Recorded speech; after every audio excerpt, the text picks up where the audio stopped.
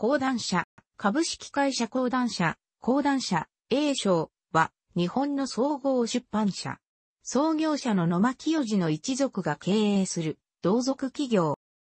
創業者の野間清治により1909年、明治42年11月に、大日本郵便会、大日本郵便会として設立される。当初は弁論雑誌である郵便を出版していた。講談社の名称はその名の通り、講談に由来するもので、講談クラブを創刊した1911年、明治44年から大日本郵便会と合わせて使用した。評論家の徳富祖法は、戦前の少年や青年たちに大きな影響を与えた講談社を施設文部省と評した。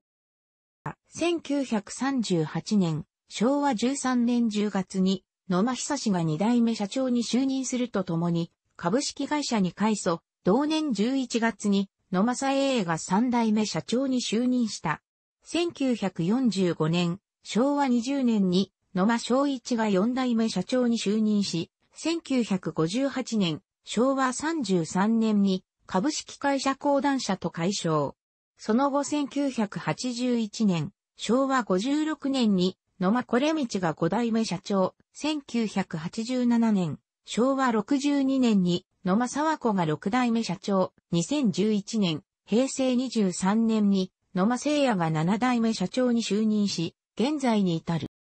面白くて、ためになるをモットーに、戦前から大衆雑誌、キング、少年クラブなどの様々な雑誌や書籍を出版した。吉川英治全集、日本語大辞典などを出版する傍ら、多数の文学賞を主催した。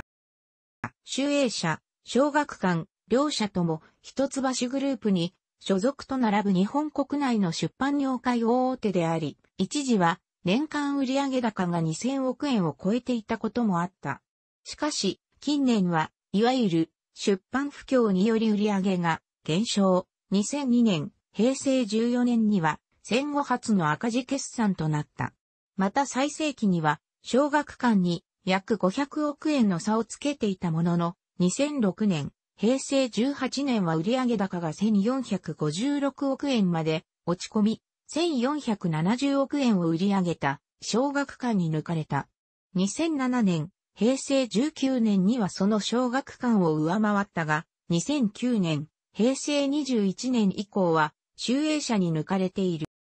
2002年、平成14年と2006年、平成18年の FIFA ワールドカップの際にはそれぞれ FIFA オフィシャルブックとして2002 FIFA ワールドカップ公式ガイドブック、公式プログラム、式写真集、総集編、2006 FIFA ワールドカップ公式ガイドブック、公式総集編を刊行している。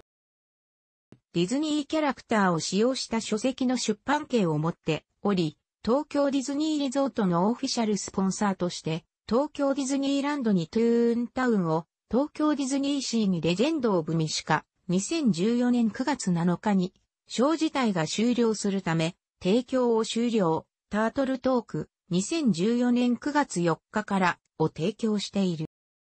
社屋本館の正面に東京メトロ、護国寺駅の6番出入り口がある。昭和初期、どりこの清涼飲料水、現代でいうところの栄養ドリンクを筆頭に、イノール、胃腸薬、トラシン、漢方薬といった医薬品、栄養食品を販売していた。講談社が発行する週刊現代やフライデーによって NHK や各民放局、その他、マスコミ、マスメディアなどをバッシングするケースがよくあるが、同社が発行する雑誌、刊行物に掲載される小説や漫画などの作品自体との関係に関して言えば、関係は悪くない。結局のところ、講談社は規模が大きく、部門間、小説や漫画作品のコンテンツ発掘、著作権管理部門や、週刊現代、フライデー等の報道部門などの横のつながりが、希薄などが原因で論調が統一されにくいのが理由だと考えられる。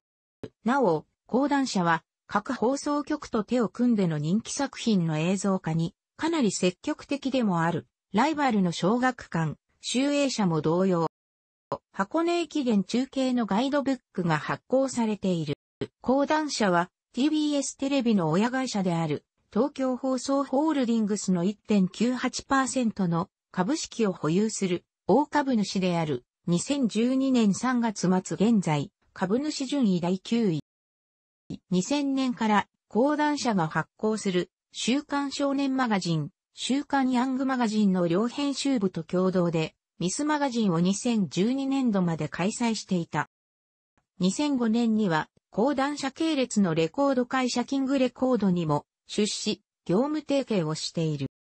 2006年4月からは、講談社と TBS は、ドラマ原作大賞を共同で創設し、新たなドラマと作家の発掘を行っている。講談社は、朝日新聞社、東映、九州朝日放送などに次いで、テレビ朝日ホールディングスの1.36%の株式を保有する株主である。なお、野間沢子前社長は1988年6月から2010年6月まで、テレビ庁の社外監査役を務めていた。文学作品賞の江戸川乱歩賞について、両社は共に公演企業として名を連ねている。ライブドアとフジテレビとの日本放送株、買収合戦にあたっては、講談社は、フジテレビを支持し、株式公開買い付け、TOB で日本放送株をフジテレビに売却した。講談社が発行する各種雑誌、週刊少年マガジンやモーニングなどで連載されているコミックがフジテレビでテレビドラマ化されるケースが多い。関連会社の公文社と共に出資している。また、同社三代目社長の友田真は、講談社の出身であった。講談社の漫画作品がテレビアニメ化される際に、系列会社のキングレコード、スターチャイルドがサントラなどで制作に関わることが多い。